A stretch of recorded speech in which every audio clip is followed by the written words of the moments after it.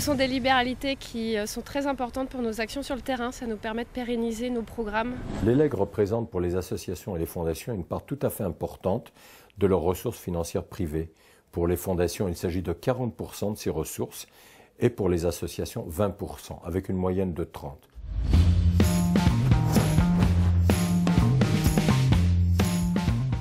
Pour bien faire un leg, je pense qu'il est indispensable d'avoir recours au conseil d'un notaire. La principale difficulté qu'on peut rencontrer à l'occasion d'un leg au profit d'une association, c'est dans la rédaction même du leg.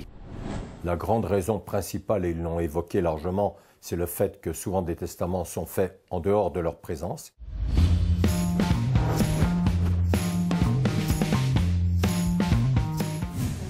Bon, c'est toujours difficile pour des petites associations au début, mais je pense qu'avec le temps, euh, les associations font les efforts nécessaires et les notaires aussi. ces difficultés sont en train de s'estomper doucement, puisque les associations et les fondations ont compris qu'il fallait qu'ils aient des professionnels pour gérer euh, les legs et qu'ils sont en relation beaucoup plus étroite avec les notaires qu'auparavant.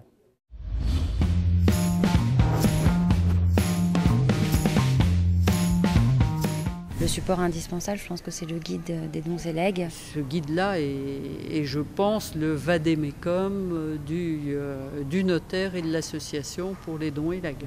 À l'avenir, je crois qu'il faut continuer, c'est-à-dire qu'il nous faudra clairement remettre à jour notre guide des libéralités, le mettre à jour régulièrement.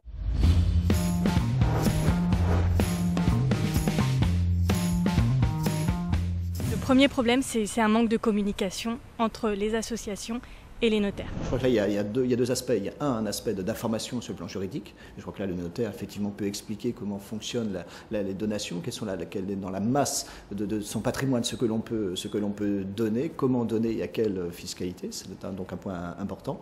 Et après, il y a tout le travail des, associations sur leur action, euh, l'efficacité des, dons par rapport à leur action, les, les, besoins et leurs prospectives.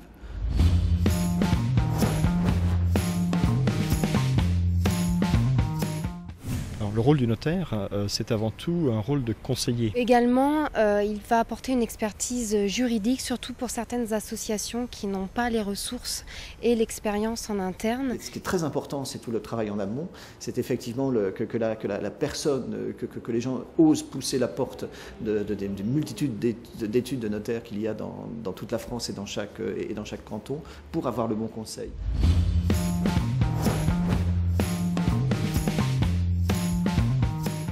Pas tous, on en connaît certains, euh, les associations euh, nationales plutôt bien. On a toujours souvent tendance à voir dans notre testament les mêmes euh, bénéficiaires, donc les mêmes grandes associations.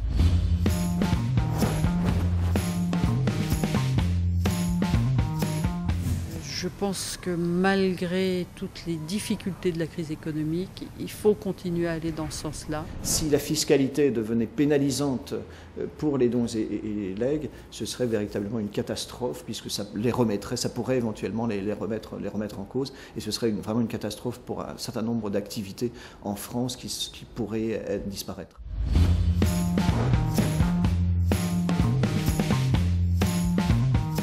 Les personnes sont indécises ou, euh, ou demandent conseil parce qu'elles ne savent pas du tout à qui léguer, euh, simplement indiquer qu'il est possible de, de léguer à une association. Le monde associatif a besoin qu'on l'aide et c'est vrai que les notaires se doivent, à mon sens, d'inciter quelquefois leurs clients, surtout s'ils n'ont pas d'héritier direct, à transmettre euh, leurs biens.